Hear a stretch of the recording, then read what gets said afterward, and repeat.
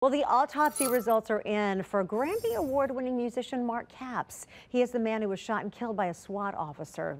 Big, big story when this basically blew up in the neighborhood and whole surrounding industry wide conversation that we were having. According to the report, Capps died from a gunshot wound to his torso. Metro Police said he brought a gun to the door while officers tried to serve him with an arrest warrant back in January. And you're looking at that body cam footage right there. He was wanted for kidnapping his wife and stepdaughter at gunpoint. We know that the district attorney asked the TBI to close the investigation, clearing Metro Police from their role in this shooting.